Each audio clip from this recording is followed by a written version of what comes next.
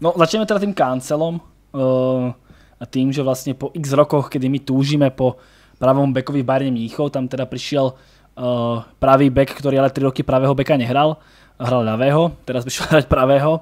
Uh, vlastne bol nespokojný s Guardiolom, uh, nie že s Guardiolom, bol s tým nespokojný, že nehráva, lebo tam hral Rico Lewis. Tak vlastne dosť nečakane teda odišiel do Bayernu Mníchov a vidíme, že vlastne už nehráva ani v Bayerne Mníchov a údajne teda už idú reči, že je nespokojný a že už robí aj nejakú, nejakú dusnotu. I v tom vedení hodně lidí, co jsou proti sobě a že to hlasování o tom, jestli Nagelsmana vyhodí nebo ne, mohlo být prostě vyrovnaný, ale, ale tak to prostě je. No. Je to otázka, čo s Neuerom? Vlastně pozícia Neuer versus uh, Zomer. Ale v Tuchel je prostě turnajový trenér a já věřím, že právě Bayern nebo Real Madrid jsou ideální jako kluby pro Tuchla. Jo, tak iba, iba za 8 na 160 a stačí. Ahoj, vítám vás u nového podcastu, klasicky vás zdraví úderná dvojka Volká Práža, ahoj. Ahoj, Sané. a dneska jedem samozřejmě, o host musí vejít. Sané. Sané je připravený a dnešní host podle mýho trika poznáte, že je Štěpán, ahoj. Servus. Takže Štěp, Štěpán, náš host a podcast o Bayernu Mnichov. Uh, kluku, řekni, co budeme probírat. Uh, prvně, co budeme probírat na Hero, zase klasicky jedeme tady live, zdravíme všechny na Discordu, takzvaně Hey Chat. Hej, chat je dobré. Uh, priznám sa, ja mám na Hero trošku takú akože osobnejšiu debatu. Uh, mňa, mňa, mňa zaujíma, že prečo Štepán tak nenavidí City a PSG. Okay. uh, potom samozrejme otázky a pozrieme sa aj na nejaké výkony hráčov určite a na nejaké výkony tých hráčov, ktorí prestúpili a čo očakávať od Bayernu teda v ďalšej sezóne. Yes, a já tady mám, otevírám si ten chat právě, takzvaně levej. Uh, a co se, co se týče YouTubeové části, tak co tam všechno máme, kromě toho, že samozřejmě Hero je nejlepší fotbalová stránka uh, ve střední Evropě, jak by řekl Velko. Ano, tak na Heroes sa vlastne pozrieme na to najzaujímavejšie, čo sa teda deje v Bayerne Mníchov. A to je Myslíš na teda... YouTube? Jo, sorry. Uh, to je vlastne odchod Nagelsmana, príchod Tuchela a Liga majstrov. Plus ten zápas Borussia Dortmund. Yes, yes. Tak jo, tak uh, pojďme to rozběhnout, jako Sané rozbíhá útoky Bayernu Mníchov. Poďme to rozbehnúť, veľmi teda ideme asi pomaly, keďže ideme ako Sané, ale nevadí. Uh, tak ak sa pozrieme teda na tú, na tú Bundesligu, ktorú vždy začíname, tak Bayern na prvom mieste, 26 odohraných zápasov, 8 kôl do, e, do konca, 55 bodov, Borussia Dortmund na druhom mieste 53, potom tam niekde v tesnom závese je ešte Union Berlin, ktorý má 51, ale o zápas menej. Vieme, že vlastne Bayern sa posunul na tú prvú priečku práve víťazstvom nad Borussiou Dortmund e, vo víkendovom zápase tam Bayern zvíťazil 4-2. Už to bolo pod novým manažérom, ale k tomu sa ešte dostaneme.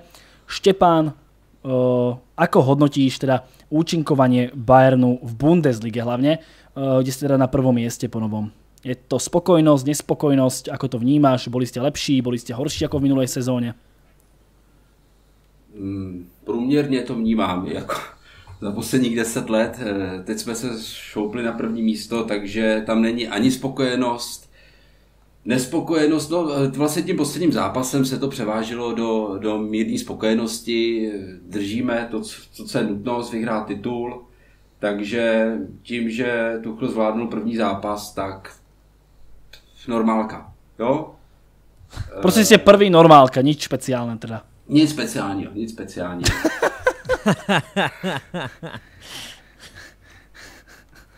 Nie je to příliš namachrované z tvojej strany?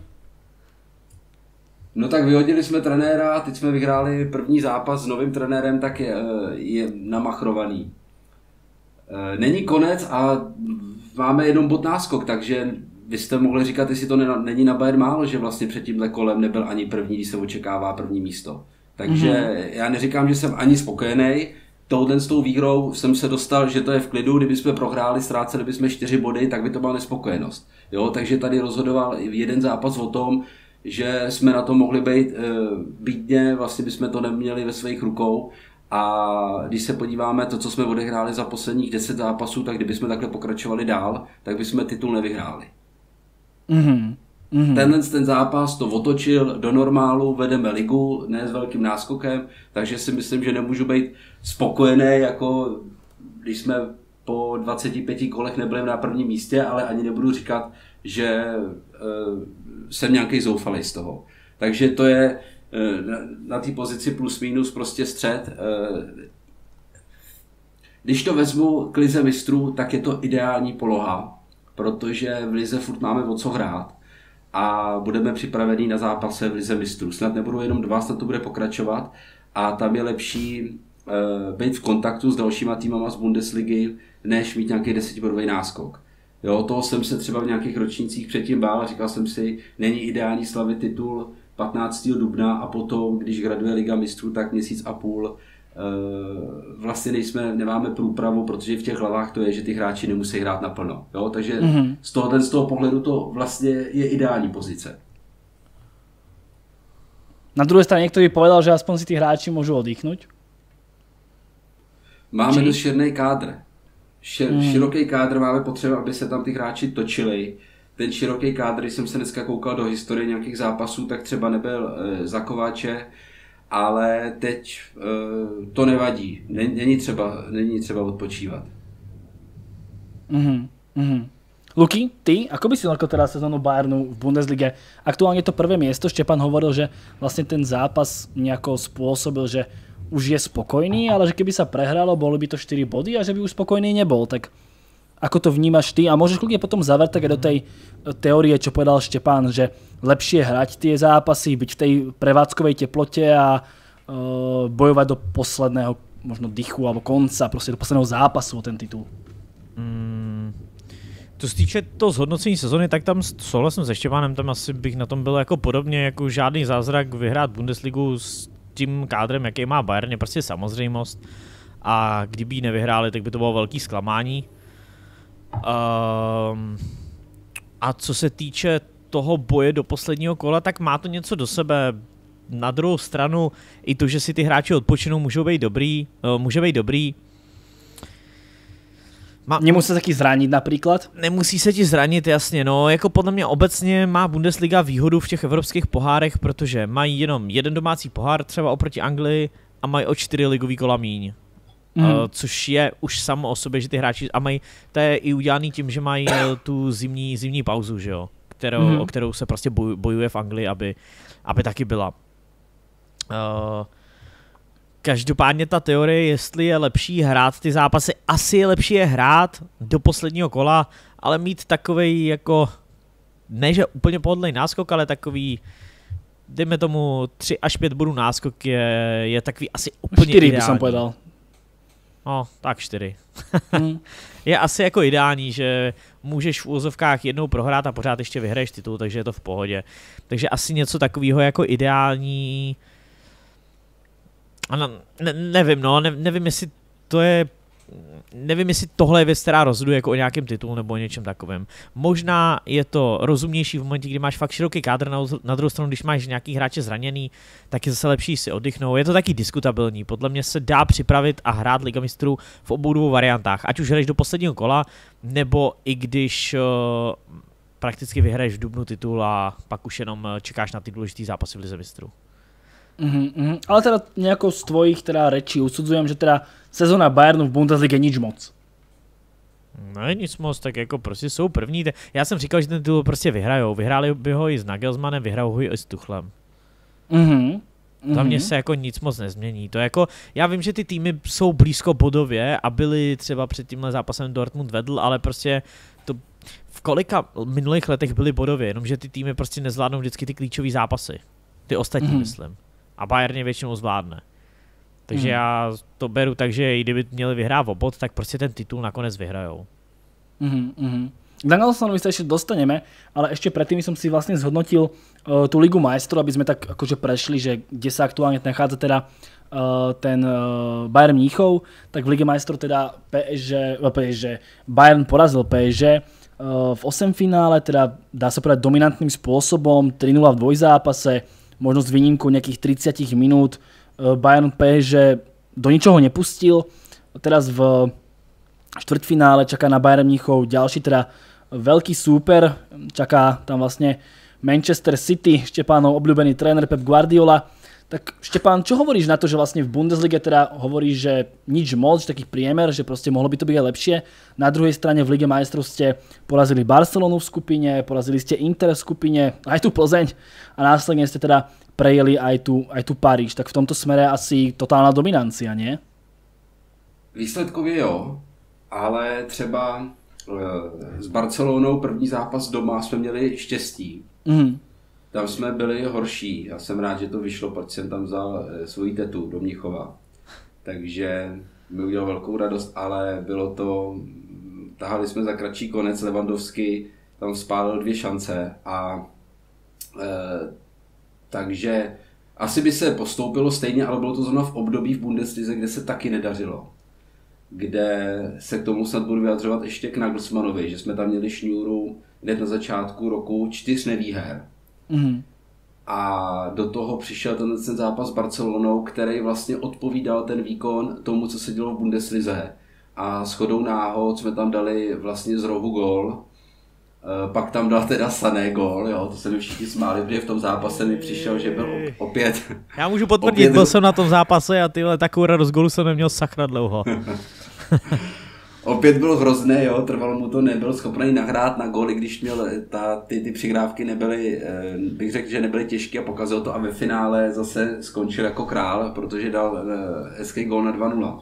Yes. Podobně to bylo vlastně i v Lipsku, kdy jsme vlastně vyhráli pohár 3-5, to byl super pohár, to jsem byl taky a tam nás Lipsko dotáhlo na 4-3. Zase tam předtím Sané měl příležitosti už dát snad na 5, na 5-2 nebo na, jo, na 5-2, možná i na 5-1, ale pokazil to, pak nás Lipsko dotávlo a on nakonec byl zase ten slavný, co dával na 5-3, tak to bylo podobný i s tou, yes. i s tou Barcelonou. Čeká na klíčový okamžiky, že jo, to je muž velkých zápasů. No, eh, vracím se k tomu podcastu, co jsme měli 1. května před rokem spolu kdy jsem vlastně no. říkal, že to je král dávání gólů v těchto z těch nedůležitých, nedůležitých už momentech, protože i s tou Barcelonou vlastně dával až na 2-0, takže to nebyl vítězný gól. No, no nebyl, ale, ale tak... to je přesně ten gol, který potřebuješ, abys neprohrál, že jo? Ale tak to už bylo, my jsme měli problém v prvním poločase a do té doby, když jsme dali gól, jo, tím, jak jsme dali na 1-0, tak už ta Barcelona ty šance neměla, jo, to už bylo řebíček do rakve, jo, to nebylo takový. Mohl tam přijít ale... Fergie time, mohl tam přijít Fergie time, nebejt Saného, kdo ví, jak by to bylo.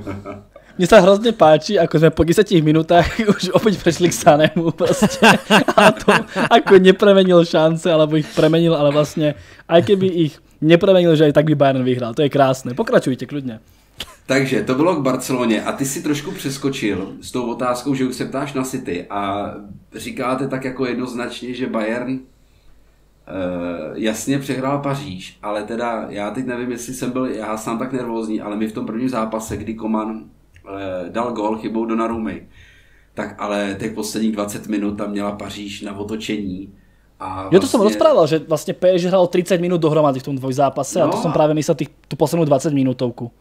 Jako je hrozně málo od toho, že Paříž jí jako za strašného outsidera, i co jsem poslouchal vaše komentáře k těm zápasům ale my jsme mohli domů s výsledkem 1-1 remíza zvenku a dokonce tam byla i, teď jestli se nepletu, Tyč, Břevno, pak tam Somra trefil, Zomra tam trefil z blízkosti Mbappé a mohl být Mbappé slavný. A to samý v té odvetě doma, jako ta chyba Zomra, já nechápu, jestli to Nagelsmann tomu Zomrovi říká nebo neříká, ale on se snaží asi trošku s tím balonem rád jako Neuer, ale když tam má za sebou Hakimiho, pro boha Hakimiho, tak přeci ten balon tam nemůže tahat přes vápnu brankář, tam tahá 10 minut balon, já jsem z toho byl úplně šílený, úplně hotový. Jo, to bylo hrozný, no. To jako nepochopím, jo, prostě říkám, ty odkopní, tady tam jsou kolem tebe, tam je Mbappé, je tam Hakimi, já nevím, jaký rychlejší hráče by mohl mít, jako, který by ho tam mohli napadat. A on si to tam takhle suverénně tahá přes vápno.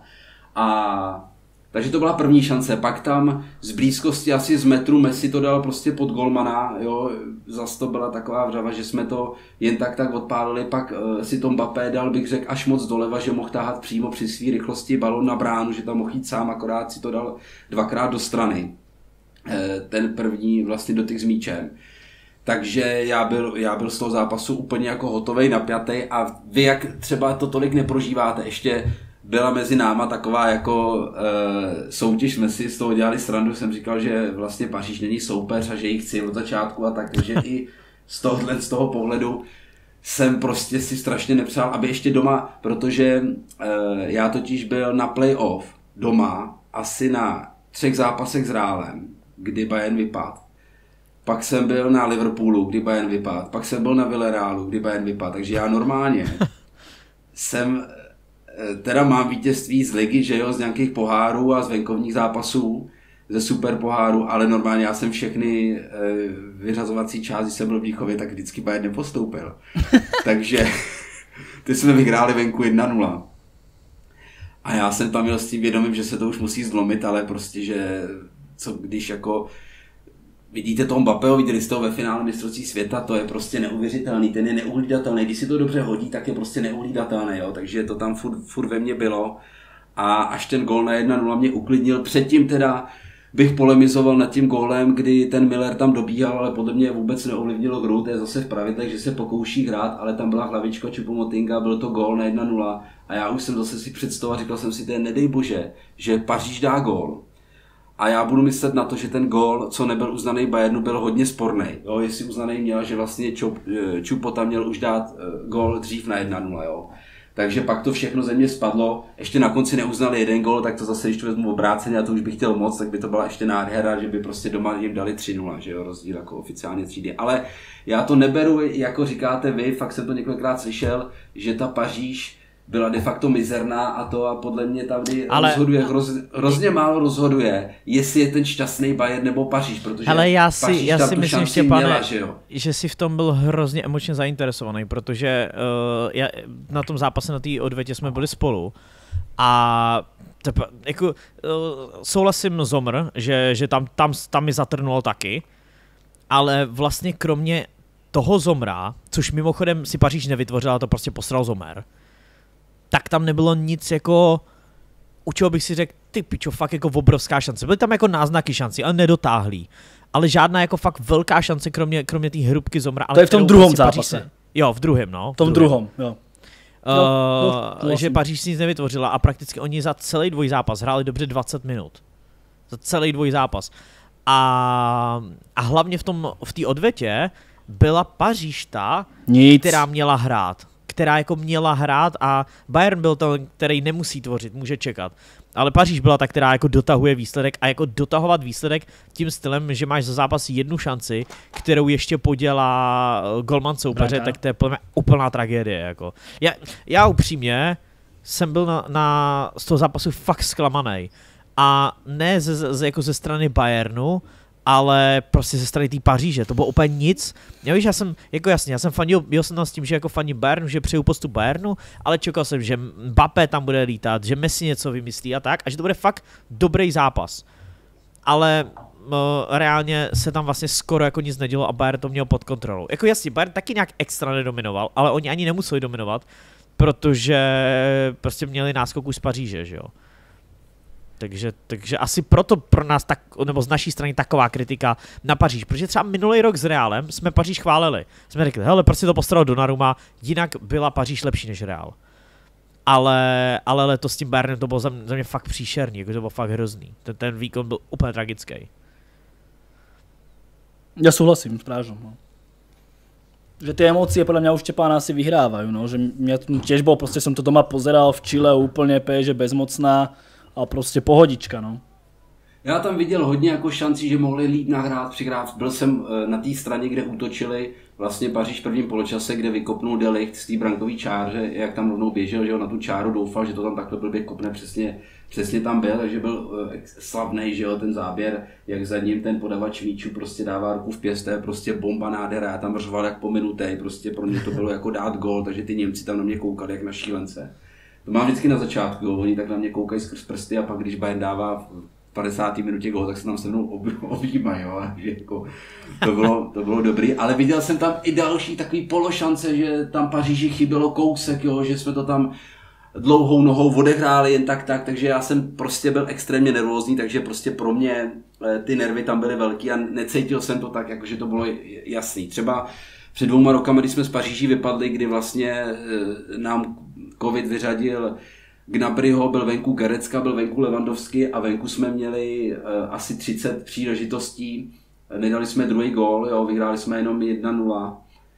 I když doma jsme prohráli 2-1, to ještě nás trestalo to, to pravidlo, nebo to bylo ještě to staré pravidlo, že se vlastně počítal gól na hřišti soupeře. A tam uh, jsme těch příležitostí měli víc a tam jsem jakoby no nevím, tady byla ta nervozita, doma jsem tam velký zápas, že jo, nechci zase postoupit, že tady jsem byl úplně, úplně z toho hotový a prožíval jsem to extrémně. Mm-hmm. Jo, no to asi zahralo v tomto prípade uh, dosť veľkú úlohu. No, takže to je vlastne nejaká sezóna v tý, Bayernu Mníchov v tých vlastne najprestížnejších súťažiach.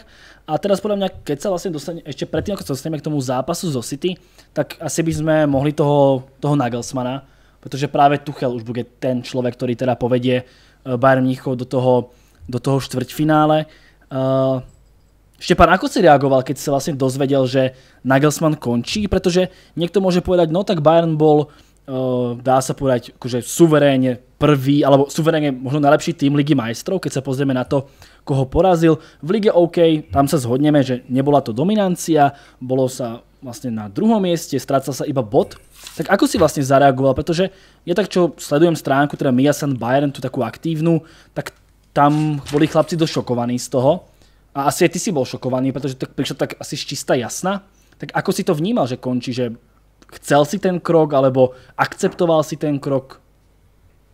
Akceptoval. Úplně stoprocentně akceptoval. E, šokovaný, e, ani, ani člověče ne, jako já jsem tak nějak hned e, začal přemýšlet, koho by mohli mít a první bylo jako Tuchl a vlastně se to stalo ve čtvrtek, chodím rád fotbal, takže jsem hned četl ty zprávy, že jo, teď mi začali lidi posílat něco, že fakt, jestli to je pravda. A ještě ten samý večer uh, se vědělo, že to je Tuchl, takže mě to, mě to ve finále, já byl na té straně Mia San Mia, jak říkáš, to mě psali lidi, který jsem v životě uh, neviděl, přišlo mi asi od pět lidí nějaká zpráva, co tomu říkám a byli eh, zaražený a já jsem říkal, no ty, ty jako... Já tady mám napsaný zase ty výsledky, co se všechno stalo. Kolik vlastně zápasů, posledních 10 zápasů, oni vyhráli jenom 5 a kdyby takhle pokračovali dál, měl 52 bodů Nagelsmann, tak my bychom s tím, s tím ligu nevyhráli. Jo, i když to berete, že by se prostě liga vyhrála, ale my jsme hráli, hráli zatraceni, zatraceni špatně. A mám to tady vlastně, začalo to s Lipskem, pak to byla remíza s Kolínem, pak to byla vlastně remíza doma s Frankfurtem a nakonec teda prohra v Gladbachu a prohra v Leverkusenu a z deseti zápasů jsme odehráli 18 bodů. A takže tu chvíli jsem tyhle ty počty, ty jsem si dělal dneska. Já jsem se schválně podíval na to, jsem čekal, že se na to co budete ptát, takže jsem se podíval, co se stalo teď a co se dělo, když nás trénoval Kovač. Takže, ale já to nebudu předbíhat. Já teď řeknu, že jsem z toho, kde se mě ptáš na to, jestli jsem byl zaskočený. Eh, přijmul jsem to jako že, jako, že asi jo, asi je to správný a protože byl Tuchl volný na trhu, tak to beru jako správný krok. Mm-hmm. A... Čiže keby, keby teda Tuchel možno neprišiel, že by to nebolo o Tuchlovi, ale o někom inom, tak by si mohl možno kritickejší? No to bych vůbec, to, to by se mi nelíbilo, protože vždycky musíš mít připravený na to, když vyjazuješ trenéra, uh, musíš mít náhradu. A tam oni si věděli, tam to věděli moc dobře. A ta kritika na Nagelsmana byla po konci loňské sezóny, pak byla dokonce uh, už v září, kdy jsem zmiňoval, že vlastně měli šňůru čtyř nevýher po sobě a do toho teda vyhrála a porazili Barcelonu, vyhráli na Barceloně, měli 6 bodů s Interem, takže to zachránilo Nagelsmanovi eh, vlastně už tenkrát, mu, mu, to, mu, mu to prostě zachránilo místo. A potom před mistrovstvím světa měl šňůru vysokých výher, jo? takže tam se to na chvilku spravilo. Ale vrátili se z mistrovství světa a znova eh, od února začala šňůra prostě nevýher.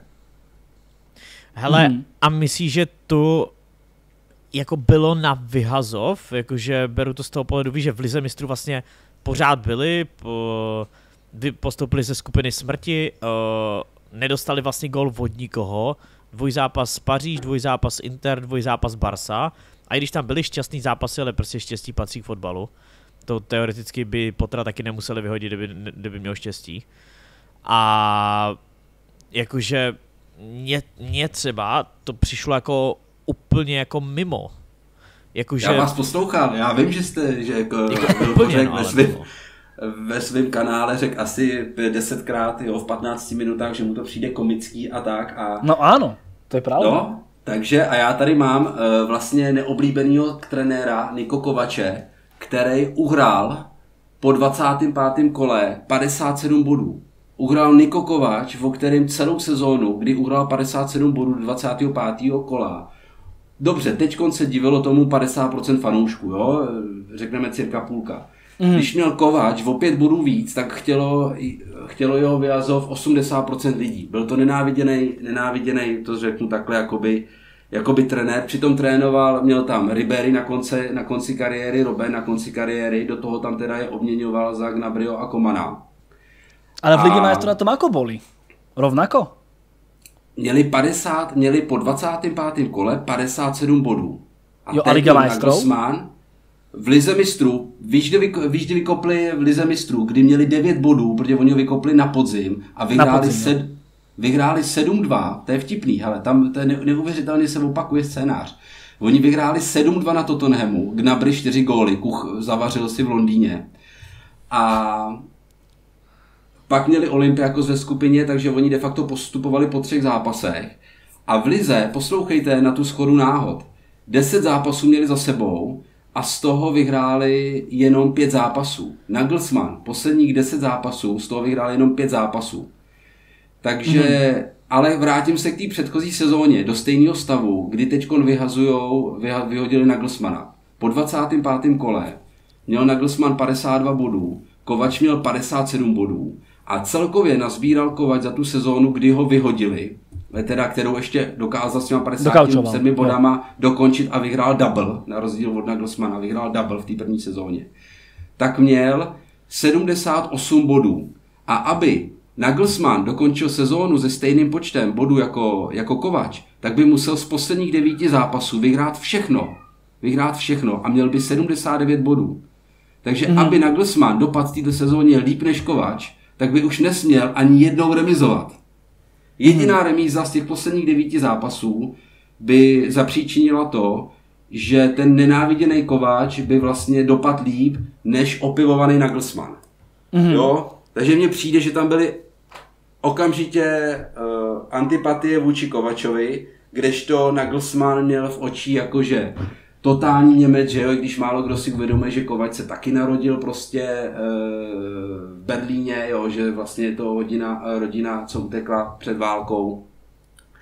Takže i tohle se mi na začátku iritovalo, že vlastně lidi hned říkají, co nás vlá, jako trénuje nějaký Jugoslávec. Takže já jsem o zase, já když slyším, že lidi někomu tak jako e, neprávě mu nadávají, tak já ho jakoby hájím. Jo, takže tenkrát jsem prostě říkal, ty Kovači, vy si to nepamatujete, on u nás hrával ty velký zápasy, taky s Reálem Madrid, oba dva bratři, že mi tolik nevadil, ale teď, když to srovnám s tím Nagelsmannem, tak ten Kovač byl na tom tenkrát líp.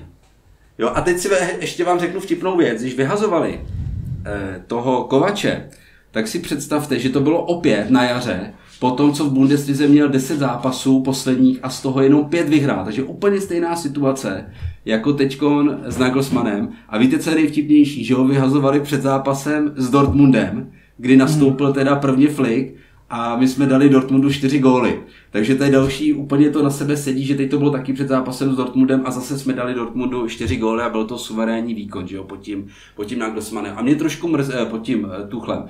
A já jsem si trošku přál, že mě oslovíte po té delší době, jak jsem eh, třeba nikdy neměl chuť dělat podcasty, protože třeba sezóna už skončila, Liga mistrů v Lize, jo, něco jste tenkrát chtěli, já jsem nějak na to neměl náladu. A teď jsem byl toho jako plný a chtěl jsem mluvit, jak jsem slyšel tu vaší kritiku vyhození na Glasmana, tak jsem byl připravený to prostě říct, že s tím souhlasím a že to podepisuju a že vám zápas s Dortmundem ukáže. Jo, a e, takže tak, no teď už jsme trošku někde jinde. Hele, jenom ty, ty já mám ještě, ještě k tomu doplňující otázku. Uh, OK tohle. A dává ti zpětně smysl prostě investovat do trenéra 25 milionů euro. Byl to nejdražší trenér v historii fotbalu. A prostě vyhodit ho za rok a půl, po tom, co vlastně získal titul a dovedl klub dvakrát do čtvrtfinále a po druhý z toho čtvrtfinále ani nevypad, prostě ho vyhodil jako předtím, než vůbec měl šanci se postavit třeba tomu City. Protože mě tohle spíš připomíná prostě nějaký fungování Chelsea nebo ani, ani, ani asi Real by nevyhodil takhle, ale spíš fungování jako Chelsea pod Abramovičem. Víš, takový, že ty vyhrál si titul minulý rok, no a teď se ti půl roku nedaří, tak už tě vyhodíme. A vememe někoho jiného. Oni tomu nevěřili, oni si spočítali, že jestli to takhle bude pokračovat dál, tak těch, těch uh, 10 zápasů, jenom pět výher, prostě, že, že to je nebezpečný a že nemusí tu ligu vyhrát a to si nechtěli prostě připustit. No a co když jo, teďka a Tuchel, a počkej, počkej jenom ještě, co když Tuchel nevyhraje z nějakého důvodu Bundesligu, tak, ho, tak by ho na konci sezóny měli vyhodit?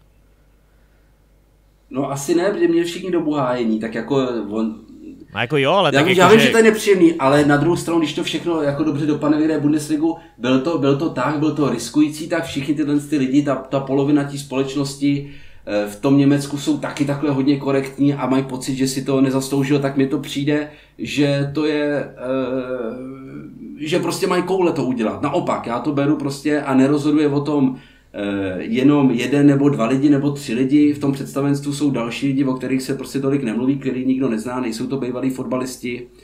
Takže eh, prostě ta, asi, asi to bylo hodně vyrovnané to hlasování o tom, jestli ho vyhodí nebo ne. No Ale a, co když, to a co když to Tuchel teda nevyhraje tu Bundesligu? Protože vlastně Nagelsmana vyhodili, protože by podle nich nevyhrál Bundesligu. A jestli teda angažují Tuchla, Uh, mimochodem budou muset dát zase odstupný jako Nagelsmanovi, že za ní zaplatili jako raketu, prostě 25 milionů teď mu zase budou muset dát nějaký odstupný. A, a v momentě, kdyby Mě odstupte, oni mu platí výplatu.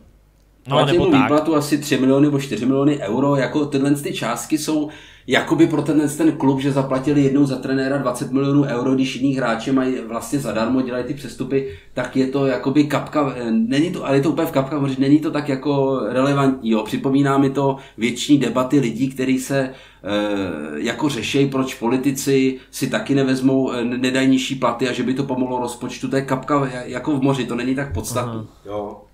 To jo, ale prostě to byl jako nejdražší trenér v historii fotbalu, zatím. Ale protože se jinak trenéři takhle nemusí, ne, nemusí vykupovat ze smlouvy, že jo? to je jenom proto. Kdyby, kdyby u těch trenérů to takhle fungovalo, že by ně, on hrál prostě za klub, který pro něj nebyl e, nic a dalo se tam za to nějaký očkodnění, že jo? Jinak, hmm. jinak to prostě nechodí, když někdo hraje za velkoklub, tak se nedá vykoupit, prostě se to neděje. Takže no, tohle, to, že to je jakoby nejdražší trenér v historii, jo, je to trošku jako divný. Prostě tohle se neděje, takže oni ho museli zaplatit, ale když si vezmeme, jaký jiný hráče kupujou skoro zadarmo, že jo, jak je to, ať je to Mazravý nebo před koncem smlouvy, že jo, Gravenberg, jestli se k němu dostaneme, byl levnej a dalších spousta hráčů Manestal, de facto málo peněz, tak uh, i když na to, co, jak se bohužel zranil a tak, tak už to je, je adekvátní, možná už to zase za chvilku bude jako drahá posila za 30 milionů euro, tak vlastně bych to, bych to na to tolik nehleděl. Jo? Na to, že trenéru se platí asi 4 miliony euro, že zase takový ten plat jako třeba Levandovský 20 milionů euro a další platí, ty naše že Nagelsmann co... měl jenom 4 miliony euro, jo. To je extrémně Já jsem to možná blbě spočítal, jsem počítal, kolik ho musel, museli vyplatit a že ještě musí zaplatit asi 30 milionů euro do, za tu dobu, co mu po, po, poběží smlouva. Třeba, Tyve 4 třeba miliony bude... přijde extrémně málo, když Conte dostává 20. No tak ono to 10 měsíců, tak to možná bude víc, no.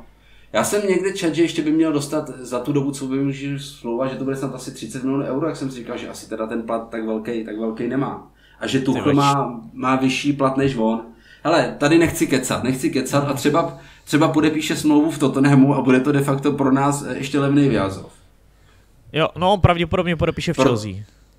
Eh, v Chelsea, v Chelsea vlastně se dneska mluvilo o tom, že by to mohl být Chelsea. Ještě se nabízí Tottenham, tak já nevidím, jak dlouho on bude chtít sedět doma nebo prostě hned takhle skočit do rozjetého vlaku, tak je to nepříjemný jít. Prostě trénovat Chelsea, která pravděpodobně ligu mistrů nevyhraje, další rok bez ligy mistrů, jo, to samý Tottenham, takže jsem zvědavý sám, jestli si bude chtít odpočinout a bude chtít ty kluby trošku sledovat, protože takhle někam skočit, když se věnoval Bayernu, to, to taky není jako snadný, ještě do jiný, do jiný země, že jo, kterou e, trenérsky neznám, no jsem na to zvědavý.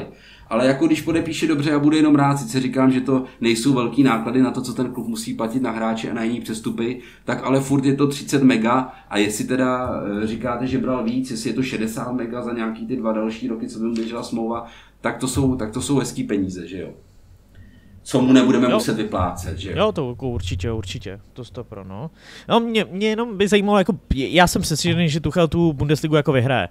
Ale bylo by zajímavý sledovat, kdyby tu Bundesligu vlastně nevyhrál, co by se vlastně teda jako dělo, protože podle nějakého tady toho kritéria by měl jako být vlastně vyhozený, protože to bylo vlastně... No byla by proč... to strašná kritika, ale zase by ho, jeho obhajoba by byla, že s tím týmem nestihl pracovat, jo, že neměl přípravu, že si nemohl nakoupit svých hráče, že jo, že tady styl Nagelsmana ještě by se to mohlo házet na, ně, eh, na něj, ale ty lidi, co nejsou třeba kolem toho klubu nebo rychle zapomínají, tak si nespomenou na to, že byl dost kritizovaný po konci loňské sezóny, kdy prostě řekli, že vypadnout s Villarealem je e, prostě nemožný v příští sezóně, že můžou vypadnout klidně v osmi finále nebo s velkým týmem, ale prohra s Villarealem ve čtvrtfinále, když předtím měli Salzburg, že už se to nikdy nesmí opakovat a pak prohráli v poháru, že jo 5-0.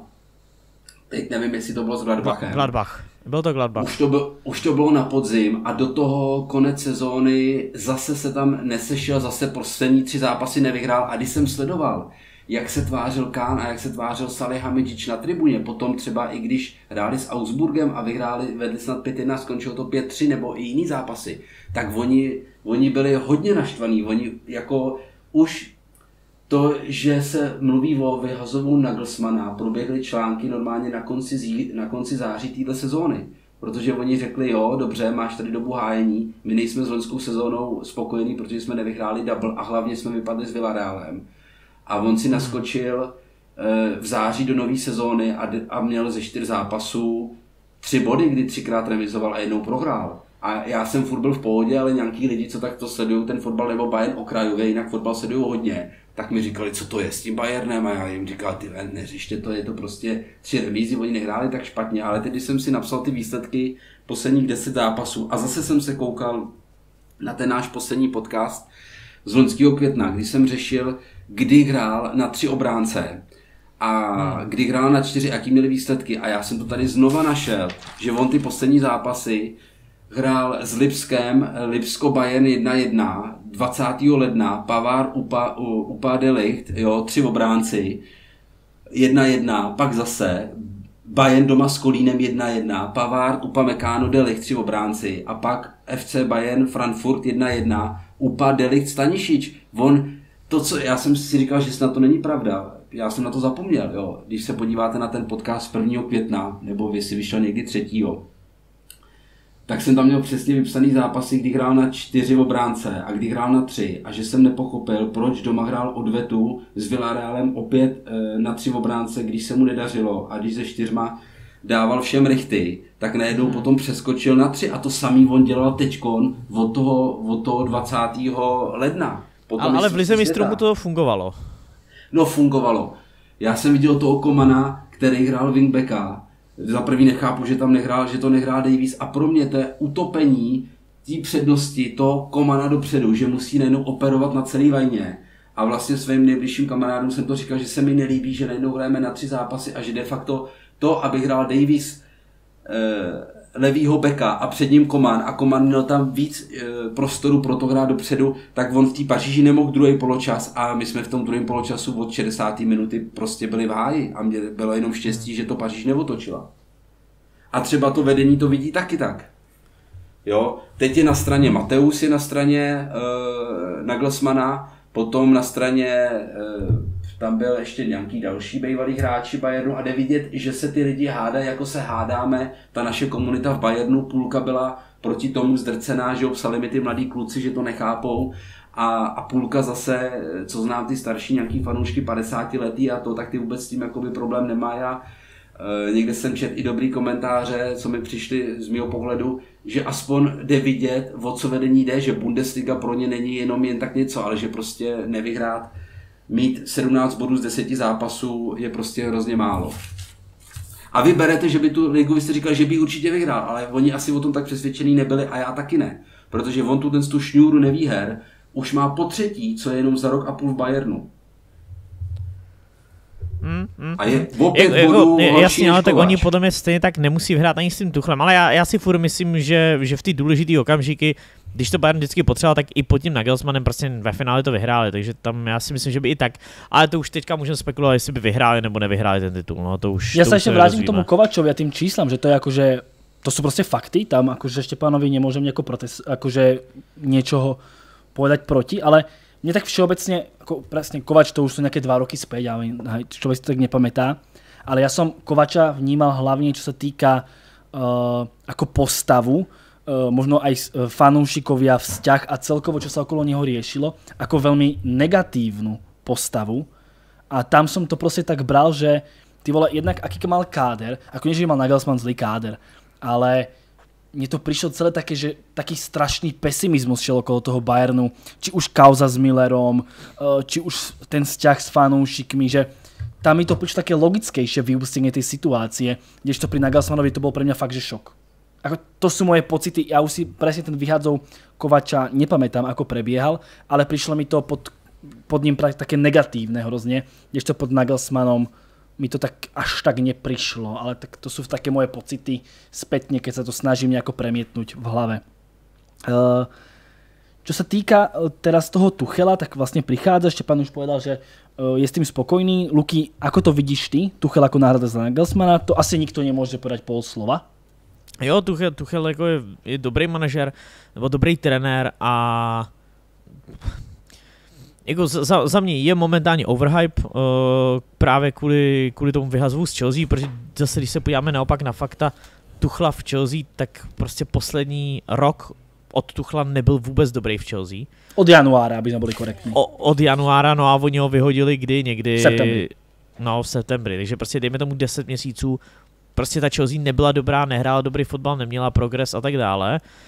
Na druhou stranu si myslím, že jestli klub nějaký může Tuchlovi fungovat, já si myslím, že Tuchel, kdyby šel do Premier League, tak tam bude, tak bude mít prostě problém přejet třeba, že prostě nevyhraje na City. Ale v Tuchel je prostě turnajový trenér a já věřím, že právě Bayern nebo Real Madrid jsou ideální jako kluby pro Tuchla. Nebo to je aspoň Pavel nějak, spíše, že Tuchel nemal kádr v Chelsea, ale zase na druhou stranu on si těch hráčů často vybral. To je kádr, to je plná píčovina, to je prostě kádr, on si ten kádr vybral. On, má, on měl takový kádr, jaký si vybral. On byl ten, kdo, kdo chtěl třeba Aubu, který je teďka Auba v píči. On je ten, kdo chtěl Kulibaliho. Jo, to, to vůbec není styl nakupování Béliho. A to je jedno, nebudem, nebudem tady řešit Chelsea. Každopádně Jasný. to, že neměl šestku nebo neměl devítku, tak to byl jeho problém. A on si ty hráče vybíral. On chtěl Zakariu, on chtěl Aubu takže ty, to, že, nebo Zakaria si potom chytil, ale prostě on, on byl ten, kdo o tom rozhodoval. Takže to je jako čistě jeho problém. Uh, ale myslím si, že právě Bayern by mu mohl vyhovovat v tom, že má ten kádr prostě lepší, jak uh, vlastně všichni jako v lize a nemá tam nějakou extra velkou konkurenci. A naopak v Lize mistrů si myslím, že Tuchel dokáže ty týmy připravit velmi dobře na vyřazovací část nebo na ty, na ty pohárové zápasy. Takže v tomhle si myslím, že by te, to spojení Tuchel-Bayern mohlo, mohlo jako fungovat. Ale, ale obecně je za mě Tuchel moment, momentálně jako, jako overhype určitě. Ja len, ja len dokončím tú kauzu Chelsea, že samozrejme tam boli dôvody, prečo sa Chelsea nedarilo, rovnako ako sú dôvody, prečo sa Chelsea nedarilo e, pod Potrom. Že no, určite tam niečo nájdeme a niekde všetko na triko Tuchla. To je samozrejmosť, aby sme to nejako takto zavreli. No a čo sa týka teda Tuchla, tak ten prichádza teda pred rozhodujúcou fázou sezóny. Vidíme, že uh, vlastne z Borussia Dortmund si už poradil, to je určite pozitívny štart do toho angažma. Teraz vlastne Tuchel musí pokračovať v tom, čo nastolil, čiže dotiahnuť tú Bundesligu do víťazného konca, majú to vo vlastných rukách. Do toho ešte teda prichádza Manchester City.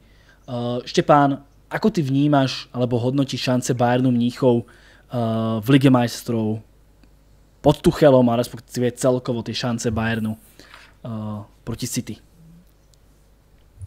Promiň, já se ještě musím vrátit k tomu, k tomu Nagelsmanovi, protože ty jsi zmínil věc, co jsem chtěl říct úplně jako první, když jste vlastně mluvili o tom, jak je to komický. A to je přesně, co si řekl s tím uh, Kovačem, že si tam cítil negativní energii a mně přijde, že to vedení teď dobře dokázali udržet úplně to stejný, protože uh, Leon Gerecka a Kimmich v nějakých prohlášeních a, a vlastně na Facebooku nebo na nějakých tweetech se zastávali Nagelsmana. Že, že jsou na uh, straně Nagelsmana, ale Naproti tomu se ukázalo, že byl Gnabry, Sané, Musiala, Cancelo a dokonce i Mané po té výhře, co vlastně postoupili přes Paříž, tak se měli pohádat v kabině a pak tam bylo znova něco, eh, dokonce v Leverkusenu, eh, na Leverkusenu jsem koukal, že vedli 1-0, Mané šel zase o poločase ven, když jsem se koukal, jaký tyhle ty hráči, co kritizovali, tak ty přesně byli vystřídaný, když vedli 1-0 a on zase přešel normálně na tři obránce z toho střídání, tady mám poznámku. A to si myslím, že bylo poslední eh, to, že ta kabina to je možná to nejdůležitější, co my se nedozvídáme. My tady řešíme, nebo vy jste řešili, jak se to Nagelsmann dozvěděl a jestli je to profesionální nebo neprofesionální, prostě hledají trenéra, ví to deset lidí z vedení, co o tom rozhoduje, do toho museli oslovovat nějakým způsobem Tuchla, tak je jasný, že to byla prostě akce kulový blesk a e, Nagelsmann si někde lyžoval, což taky někdo kritizoval.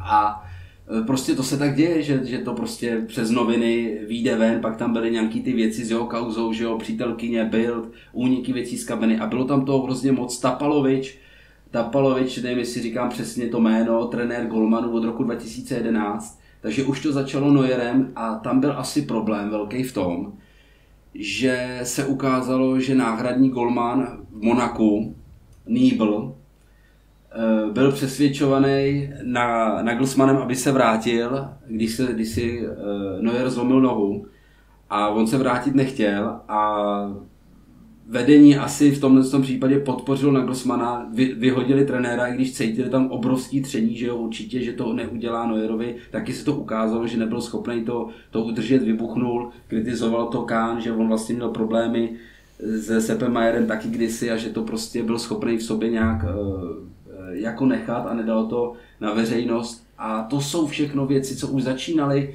být takový střípky nebo e, části mozaiky, že tam toho bylo víc špatně. Nejenom ty výsledky, ale i ta kabina se začínala hroutit.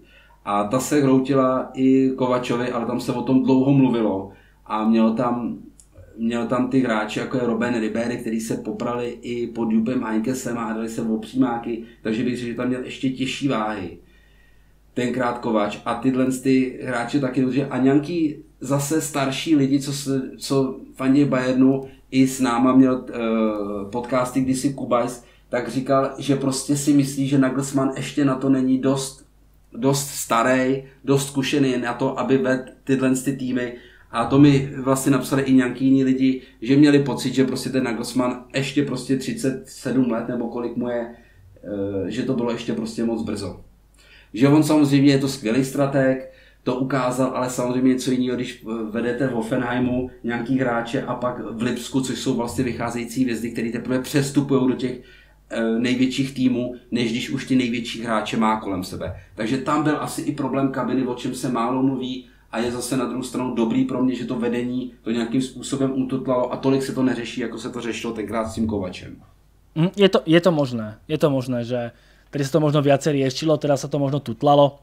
Ja len akože hovorím, ako si to pamätám, že aká išla proste uh, vlastne čo išlo z tej kabíny, napríklad ten, ten Miller napríklad, hej, tam, tam to bolo, že Miller by bol reálne na odstrel. A to nebol iba Miller, to bolo viacero hráčov. No a poďme k tej Lige majstrov, tak ne, ještě, ještě, ještě poslední srovnání, ať už na to nezapomenu. Ty týmy, co měl, co měl ten Krákovač, když srovnáme, jak lidi nadávali, že mu nikoho nekoupí, že nemáme posily, že máme slabou lavičku. A když to vezmeme, koho teď dostal Nagelsmann, že dostal Mazraujího, Delichta, teď dostal Maného, já jsem to vůbec nečekal, jo, takže Gravenbercha, takže ještě bych řekl, že ten Kámo, ale, ale prodali, prodali ti... Tak je silnější, než byl v tom roce 2018-2019. Určitě není, kámo, určitě není, však ti prodali Levandovského, to je záruka 40 gólů prostě tak ten Boresti každý rok dá 40 gólů a místo něj tam hraje Čupomotin, který mu se před rokem všichni smáli. No a podívej to... se, jaký mají skóre Bayern. Bayern má skóre ve počtu gólů, nemají tam žádný takový velký propad. To říkali na začátku. No, což právě, což právě značí, v, což právě říkali, značí výbornou práci na Gelsmana, že jo? Že právě ti odejde týpek, který ti dá 40 gólů a na ofenzivě toho týmu to není znát.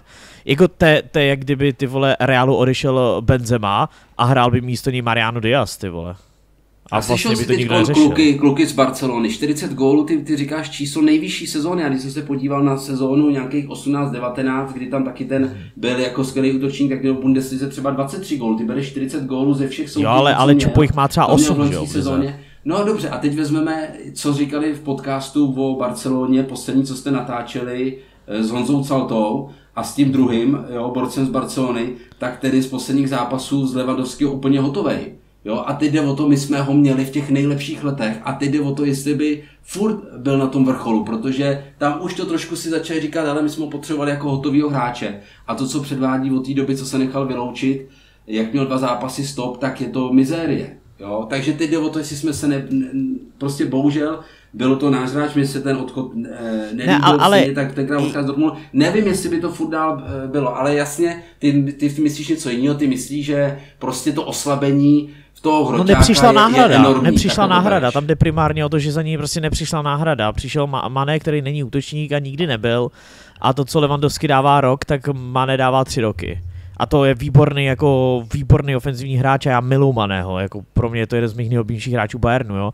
A obecně i v Liverpoolu je jeden z mála hráčů Liverpoolu, který jsem měl fakt mega rád, ale nemůžeš srovnat jako jeho golový přínos uh, s přínosem uh, Levandovského. To je jako úplně jako jiný, jiný kalibr a jiný svět. Takže to spíš mě jde o to, víš, že úplně, že vlastně ten hráč, který ti máš jistotu poslední tři sezóny, tam prostě dával rakety, rakety gólů jako leva. A teď vlastně tam není a náhrada, mě jako naprosto šokovalo, že Bayern nekoupil v létě útočníka. A to asi, asi jako povíme skoro koupil každý, tela, že... Koupil Tela, koupil dlouhodobý, no, dobrý, koupil tela. investice, je tam Tel, no. Dobrý, ale to, co, co, to je pro Nagelsmana? Na Nagelsmana vůbec nezajímá, jestli tam je nějaký Tel, že jo? To je, to je, jako to je možná, a to je taky možná právě to, co tomu vedení taky mohlo vadit, že si říkal, že na to, jak hrál málo zápasů, tak tam předváděl neskutečné věci. Takže i to mohlo vadit. Proč Tel Gravenberg no nedostával příležitosti? Jo, já když jsem viděl Tela, tak jsem z něj byl hotový. Říkal jsem si, proč tam sakra nenaskakuje víc. No a můžeš si být jistý, že Tuchel je ten poslední, kdo, kdo tam bude spát mladíky. no, to jako to jsem, jsem, jsem ho viděl jako dost. To je, tak jako ono, když se podíváš, tak strategie Chelsea byla nakupovat uh, minimálně pod novým manažerem, prostě chtěli mladý hráče. Ale Tuchel, Tuchel chtěl minimálně Kulibaliho Aubu a teďka neřeším, jestli se jim daří, nedaří, to už je druhá věc, ale primárně jde o to, že jsou to prostě starší, zkušenější hráči. Takže já určitě nevěřím tomu, že Gravenberg bude hrát v základu pod Tuchelem, to je úplně mimo. A, a ještě navíc, jak přichází ještě uh, Leimer. Že já, já, já nevěřím tomu, že by se změnila pozice Gravenbercha pod Tuchelem, že by najednou začal hrát pravidelně. Neříkám, že, že má hrát základ, že vyřadí Gorecku, a nemyslím si, že se obecně změní jako pozice Gravenbercha, podle mě bude jako úplně stejná. To, toho tela nevím, protože v útoku jako reálně nikdo není, že jo, tam, tam jenom Čupo, který jako relativně jako má do, dobrý čísla, má nějakých 16 gólů, samozřejmě není to leva, ale nějaký gól jako dává. A, ale já jsem teda zvědavý, jestli v létě jako koupí Bayern nějaký útočníka, no to je, to je pro mě asi taky, taky i velký otazník, na to jsem, na to jsem vlastně nějaký jako zvědavý, no. Ale, ale obe, obecně mi šlo o to, že naopak mě právě přišlo, že když ti přišel Gravenberg, hráč do budoucna, který nemá žádný vliv na aktuální kvalitu kádru. Tel to stejný. Dva velký talenti, o tom nikdo, to o tom bez nepochybu, ale na aktuální kvalitu kádru nemá jako žádný vliv. A potom ti tam přijde Ma- Mazraoui, který, který ho nikdo nechtěl, kromě Barcelona, Barcelony, která bere úplně každýho, kdo je zadarmo, že jo. A vlastně jediný pořádný hráč, který ti přišel, tak byl Delikt a Mané samozřejmě.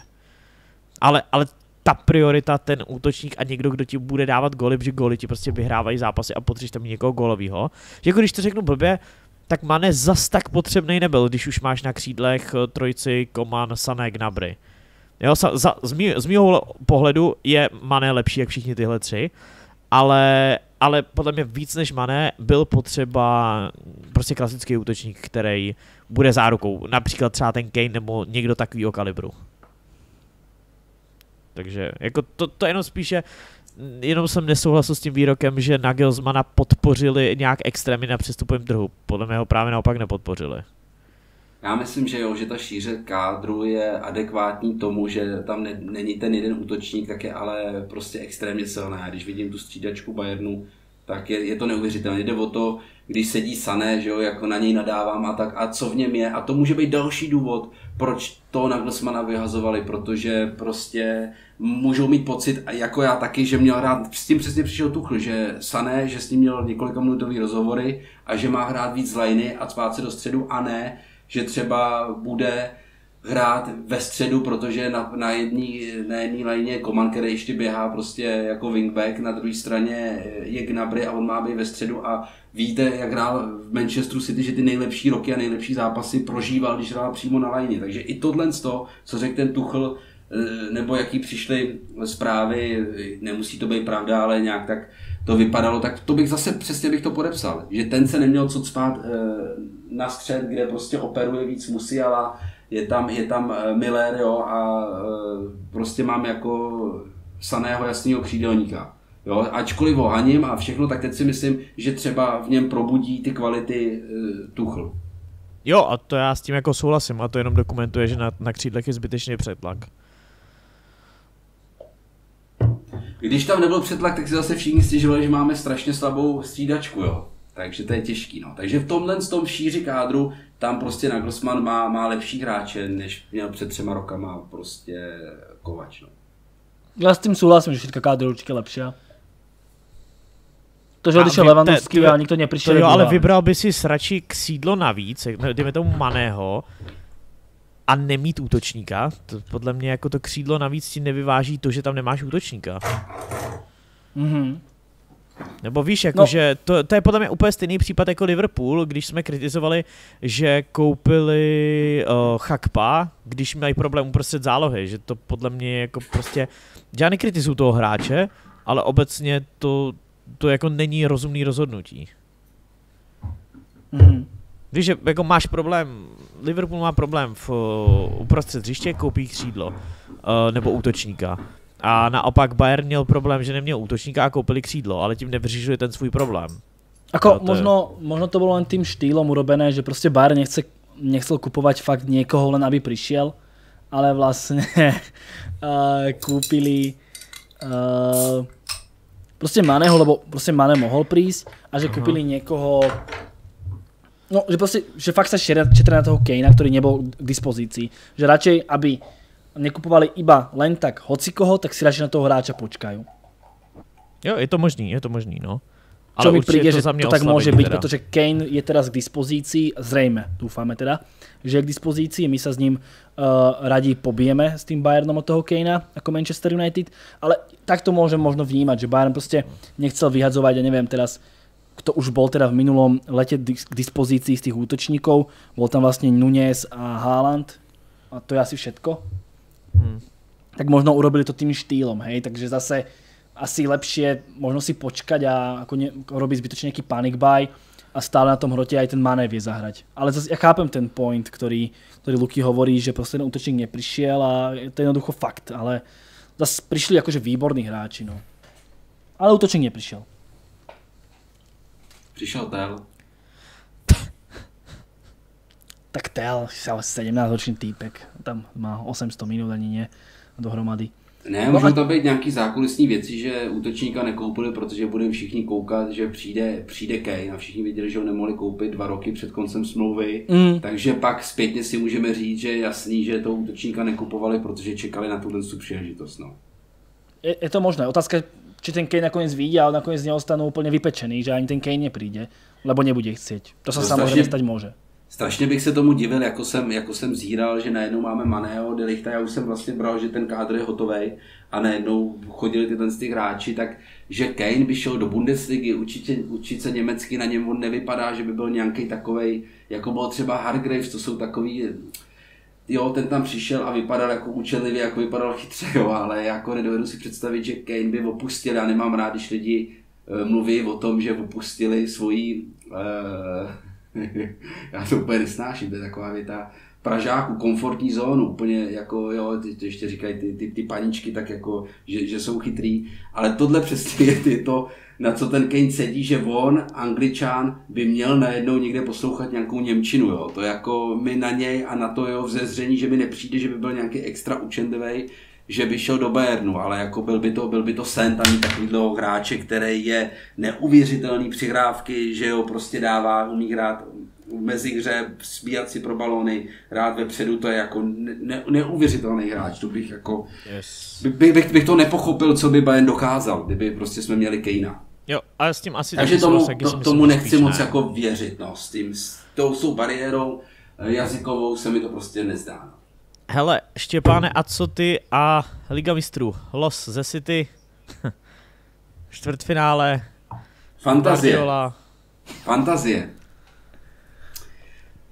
Tak a Eh, proč přál se? jsem, přál jsem si to řadu let a teďkon, když máme ještě toho tuchla, tak ještě bych řekl, že i to byl důvod, proč jsem se, se mi to tak nějak jako všechno líbilo, že bych že ta naše šance ještě jako vzrostla, ale nebudu si tady hrát, jako vám povídám, že Paříž, že to není žádný soupeř a tak, tak te, i teď, když se podíváme na ty výsledky Paříže, tak to fakt opravdu tak vypadá, jo, že že Paříž soupeř nebude, tak tohle co soupeř bude, že jo, bude to prostě velký a ty naše šance s Tuchlem a teď s tím týmem jsem říkal, že nás výhra s Dortmundem a to jsem nečekal, že vlastně e, Nagelsmana vyhodí nás vystřelí zase na vesmír, takže jsem byl takový nezdravě sebevědomý, i když na posledních 8 zápasů doma ne, jo, e, s Dortmundem bych asi i mohl být, takže jsem si z toho taky hlavu nelámal, z těch proher nebo nevýher, ale s Leverkusenem to byla prohra, takže jsem si říkal, že nás to zase vrátí zpátky, že ten Dortmund přejedeme. Ale teď ještě jsem jakoby dál, eh, že tomu věřím a všechno se mi zdá, že tak zítra hrajou v poháru, tak to zase si, s- si to tak nějak sedne, těším se na to a Jestli to předtím bylo pade, nebo budu jako favorit 60 na 40 pro Bayern, tak teď řeknu, že to je prostě 65 pro Bayern. A samozřejmě to říkám proto, abych nastrali nějaký fanoušky City. Oni ich nemajú, to je v pohode. Yes. Bo, Bonny ti bude psát. Kto? Bonny Wilfried, že mu bude psát. Jo, to možno. Ale za 65-35 je úplný prepal, no. ja by som si taký istý nebol, no. Ale tak ja neviem, no. Luky, ako to ty vidíš, 65-35? Yes, Bayern bude dál. No tak pohodě, ale myslíš, že až taký favorit teda? Ne, budou, bude dál Bayern. Richard píše, že je to 80 pre City. Jo, tak to je to. To nemůžeš brát vážně, on není v té pěce, že on je zaplacený, že jo. To už jsme taky viděli Mm. pár těhle, že jo. Oni tam pak píšou blbosti, ty zaplacený kluci. Richard No, by já tak reálně. asi víc než já dneska večer. No, A tak reálně, Luky? Uh, nevím, já si myslím, že postoupí, postoupí jako Bayern, ale je to 55-45 pro Bayern za mě, ale, ale je, je pro mě taky favorit Bayern, ale to je, a nemá to jako žádný extra odůvodnění, protože City jsou jako lepší, uh, minimálně s tím Haalandem podle mě prostě v těch velkých zápasech bude ten Haaland cítit. Uh, ale já nějak zase čekám, že Guardiola tam nastoupí se Stonesem v záloze nebo něco podobného, co už jsme viděli proti Lipsku, kde to teda vyšlo, zničili je jako prase, ale já, já čekám, že tam zase bude něco podobného, že tam nastoupí s pěti stoperama a Stones bude pravý křídlo a Mares to bude defenzivní záložník. Mhm. Štepan, a čo vlastne očakávaš jednak od toho zá- dvojzápasu zo City a jednak celkovo tej ligy majstrov? Protože teda prišiel Tuchel, ktorý to už dokázal vyhrať, bol vo finále, Eh, Nagelsmann samozrejme takéto čísla a úspechy nemal, tak ten los je taký, že teraz máte, vlastne mali ste PSG, mali ste náročnú skupinu, eh, potom vás čaká víťaz dvojice Real Madrid alebo, alebo Chelsea, že ten los je taký dosť náročný. Eh, Čo očakáva vlastne od Bayernu v tej Lige majstrov? No tak víte, že jsem eh, takový přehnaný fanoušek optimista, že i vlastně za ty nejhorší období s Kovačem, jo, když byli v hajzlu a všichni to věděli, nebyli schopni s Liverpoolem přejít přes půlku, tak jsem stejně do odvety, co venku hráli 0-0, věřil, eh, že vyhrajeme, takže jako eh, teď ještě při té konstelaci všeho, jak si tady přeme o to, jestli ten tým je teď lepší bez elitního útočníka, a já zase říkám na druhou stranu tu šíři toho kádru, tak já se prostě teď cítím eh, stra, strašně, že ten Bayern je dobrý, takže si věřím více než kdykoliv jindy. A taková ta éra, kdy vlastně De Bruyne byl nepřekonatelný, i na mistrovství světa to ukázal, já nevím, já už má, má, mají tam jiný ESO, mají tam prostě Haalanda, nejlepšího útočníka s mapem, pro, to je prostě neuvěřitelný, ale zase věřím v ten mindrák uh, proti Bayernu, co vlastně byl úplně znechucený za Dortmund, byl úplně v hajzlu, protože prostě všechno s Bayernem prohrál, co mohl vlastně. On vyhrál jenom na tom lenském letním turnaji v Americe teď City nad Bayernem, že se vůbec se dá počítat. Takže já věřím, že to bude mít v sobě a že tam bude prostě eh, nastupovat, že bude vědět, že s tím Bayernem nikdy nedopad dobře a že Guardiola jak se říká, se mu dostanu do hlavy, že si bude prostě říkat, že tady prostě to, tu ligu mistrů posral, že se Španělama všema vypadnul a že teď teda odjede na ten Bayern, že bylo úplně nejhorší, kdyby se mu to nepodařilo tam s tím Bayernem. A teď by ještě vlastně za to, proč byl povolávaný do těch týmů, by vypadl, že by to byla úplně ta poslední třešnička na tom dortu, že ten kokot prostě zase vypadne z ligy mistrů, že tady byl volaný do Bayernu, aby tam udržel tu ligu mistrů a i to samý do City a že by se to takhle uzavřela ta kapitola, pak by vyřadili City že jo, z, z Premier League a takhle a tím by vlastně skončil tuhle tu éru trenéra na vítězství ligy mistrů. Víš?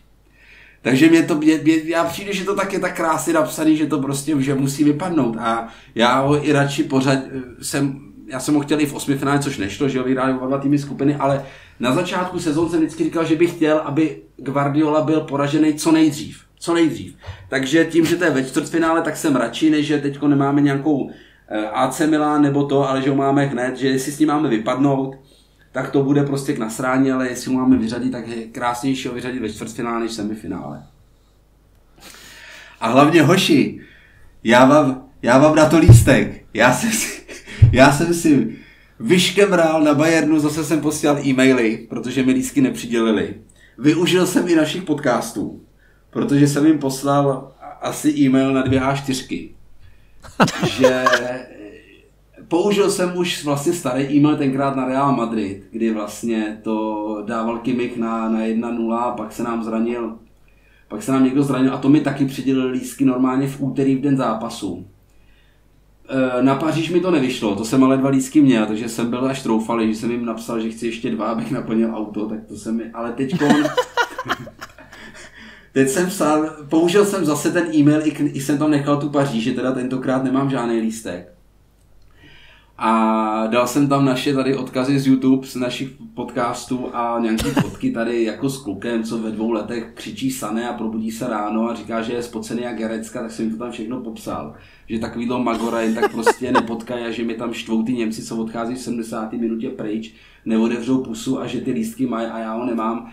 A normálně mi poslali Tutmir Light, zápas je, zápas je vyprodaný, máte smůlu, tak já jsem tam dal přeposlat, našel jsem jiný mail na stránkách Bayernu, na Cvajmár jsem to poslal tentokrát.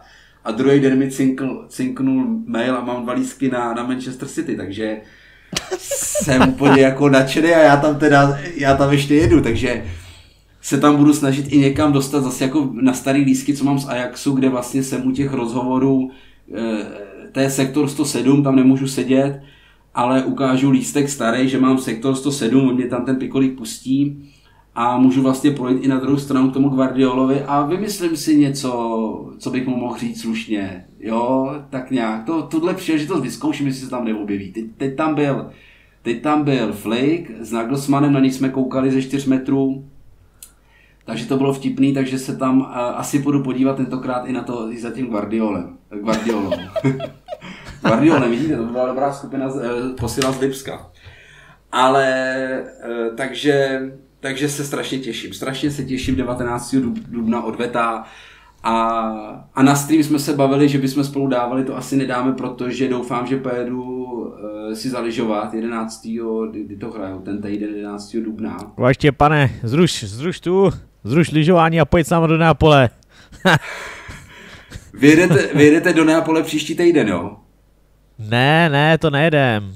Jo, vy myslíte potom někdy, ale ten příští no, týden jste to chtěli streamovat, ne? Ten první zápas na City. Yes, yes, yes, yes, yes.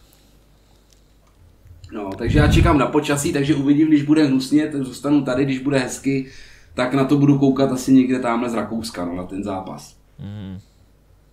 Takže doufám, že to bude výsledek na, na odvetu, to je nejdůležitější, že jo, teď to ještě neřeším, ale člověk, když má lísky, tak pro boha nikdo snad nevyhraje 3-0 ani City, ani Bayern, aby to bylo ideální na to jet, jet na tu odvetu a být prostě strašně natěšený, jak to dopadne. No. Mhm. Mm-hmm. Ty vole, já už čekám, jako ten Štěpán bude to Guardiol tam nadávat, ty vole. Priamo na tom štádiu, jak mu náloží. Prej, ty debile, skurvil si nám, skurvil si nám třikrát ligu mistrů. Hrál tu Rafinha. já, bych mu řek, já bych mu asi jenom připomněl, jo, pěkně v Němčině nebo i v angličtině ty výsledky, eh, jak vypad postupně s Reálem, s Barcelonou a s Atletikem Madrid, jo, prostě bych mu řekl jenom 100 let before Guardiola, prostě Bayern eh, všechno prohrál s Reálem Madrid a pak musel přijít Guardiola, aby jsme dostali doma 0-4, jo. Prostě my jsme 100 let, co existuje Bayern, neprohráli doma s Reálem Madrid a s ním jsme prohráli. A já zase všem lidem, co na mě budou koukat jako na největšího magora šílence, že tomu, tomu nejlepšímu trenérovi na světě takhle nadávám, tak já zase připomenu, že on je skvělý trenér na ten způsob hry, na ty, na ty přihrávky, co hrál v té Barceloně s těma hráčema, co měl tenkrát v té Barceloně, co je schopný si koupit i v City. Jo, když se podíváte na posily, co měl za, za sedm let v City a co měl Bayern, tak on šel ještě do Bayernu, kdy, kdy ten Bayern neměl takový prostředky. Teď Bayern koupil vlastně za 80 milionů euro jednou obránce za 75 milionů, 5 milionů dalšího Delichta, předtím to byl, mluvím o uh, o Lukasi Hernandezovi. A tyhle prostředky za Guardioli nebyly. A oni si ho stejně pořídili a my jsme kupovali do té jeho hry kdy on prostě chce, ať ten hráč to zpracuje, nahraje správně. Já jsem pozoroval i ty jejich tréninky, tam musel být jeden nebo dva doteky. A to prostě Miller, představte si toho Millera, jak vypadá nefotbalově, on je skvělý, úžasný duše Bayernu, ale on to dnes to hrát neumí. A místo toho tam kupoval nějaký hráče, nebo jako Rafinha, Bernard, takový prostě průměrní hráči do té hry, ale to prostě pro Bayern bylo špatně.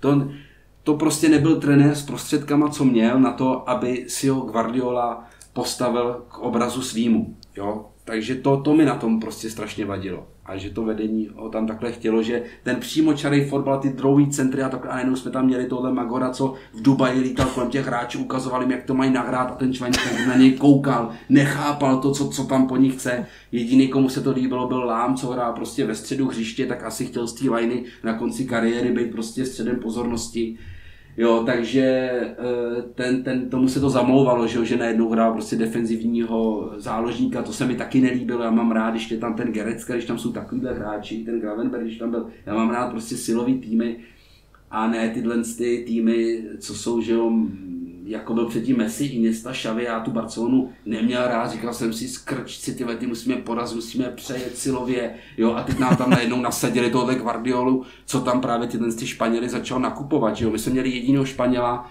ale Španěla v úzovkách, co byl, e, e, co byl Martinez, že jo, ale to byl Bask, že jo, ten o sobě, ten byl z Bastická, to byl prostě, a ten řekl Guardiolovi, ten řekl Guardiolovi, já jsem musel přestoupit do Barcelony, do Bayernu, abych porážel Barcelonu. A, jo, a to se tenkrát Guardiolovi, Guardioli nějak dotklo a byl, i se říkalo, že s ním nemá moc dobrý vztahy, no protože to nebyl ten jeho skrček, bylo to takový tele, vysoký trošku, jo, ale já tyhle z těch hráče prostě mám rád, co byli v Bayernu, prostě tam byl že jo, tenkrát uh, Mario Basler, Effenberg, prostě uh, tyhle si trošku magoři a ne, že tam bude tát tu školku španělskou do Bayernu. Španělskou školku. teď, teď zase se říká, že Gavi, že, že jo, to vy víte, ne, tam ne, ne, nemůže nějak podepsat v Barceloně smlouvu, tak první věc, potom co Tuchl je v Bayernu, tak se řeší, že by Bayern mohl teoreticky mít jako Gavi. Já si říkám, proboha, proč? Jako... Kao Gaviho by si miloval. Ale nechci, já nechci, ty, já nechci ty, ty Španěly, já to mám spojený s tou érou toho Gavi. Gavi je úplná špina. Gavi je úplný magor. Já to je chci Gavi ho porážet a ne, ho, a ne ho tam mít prostě. Kámo, ho by si miloval v Bayernu. Já chci, ať ho, Gvar, ať ho Guardiola zboří jako Messiho, a ne, že mi tam bude hrát vedle něj. Ne, ne ale Ga- Gavi není vůbec Španěl, to je prostě Němec s fejkovým španělským pasem. Souhlasím. Alebo Angličan.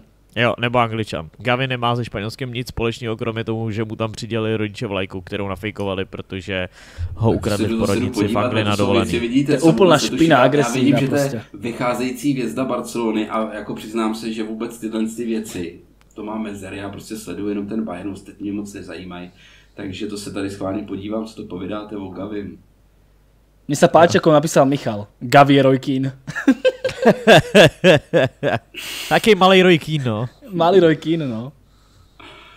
No, pojď, dej si, dej si na YouTube sestřih uh, uh, Gavi, uh, uh, nevím, napiš tam anglický zmrt a vyjede ti tam spousta videí.